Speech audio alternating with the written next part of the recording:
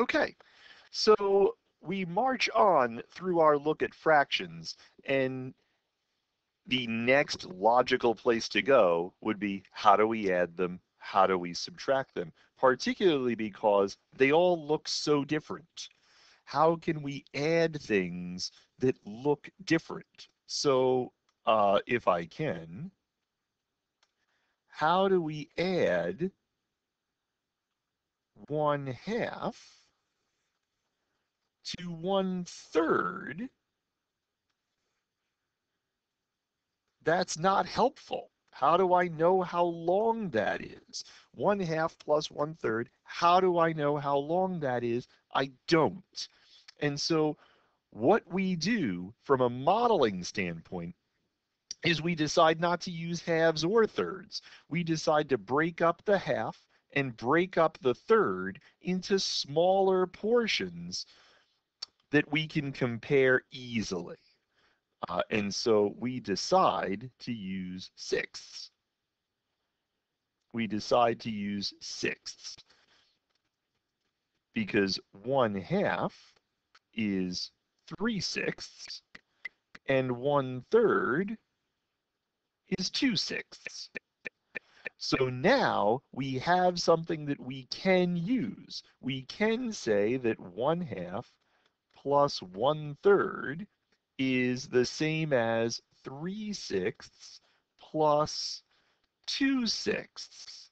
And that's one, two, three, four, five sixths.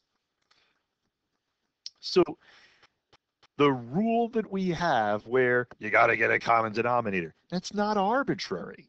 That allows us to compare across the fractions using a smaller piece that's useful in both cases. So this whole deal of, oh, you got to get a common denominator when you add or subtract, it comes from somewhere. Uh, subtracting works the same way. Uh, if we had one third and we looked to subtract one fourth, well, how oh, mercy how big is that gap? One third minus one fourth, how big is that gap? Well, again, we go to a piece that is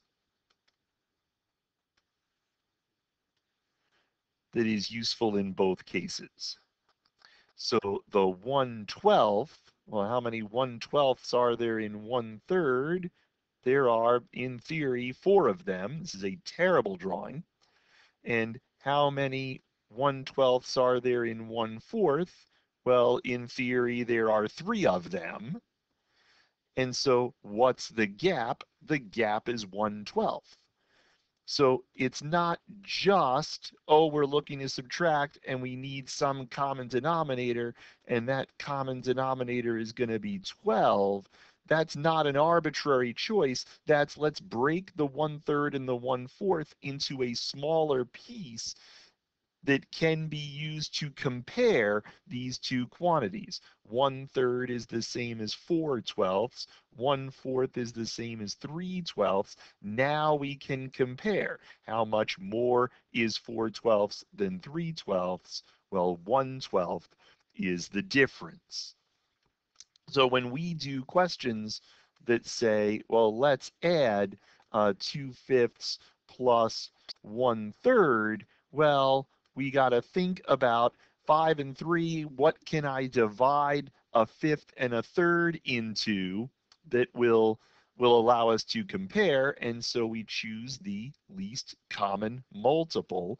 Uh, because 5 and 3 have no factors in common we can use just their product uh, 2 fifths, how many fifteenths is that? Well, we divided each of these pieces into three smaller parts. So we divide each of these pieces into three parts each.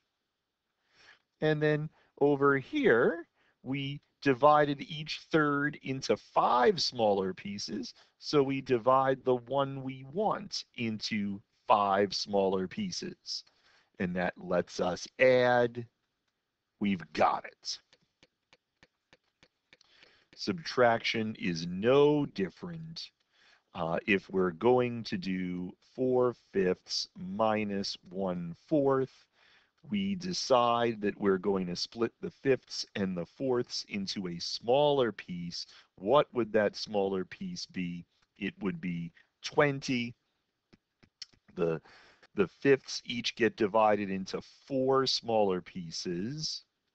So the ones we want also get divided into four smaller pieces. The fourths each get divided into five smaller pieces. So the one we want is also divided into five smaller pieces. So if we have 16 twentieths and subtract 5 twentieths, that is 11 over 20. Okay, uh, you should practice. So hit the pause button and make sure that you can do, uh, uh, no, let's not do sixths here. Let's do ninths here. And then let's try, uh, let's see, seven eighths minus one third. Give that a go. Hit the pause button see what happens. Did it look something like that? Here's hoping that it did. Um, adding and subtracting fractions is something all little children learn. Hopefully the ones you teach will learn it well because of the way you can explain.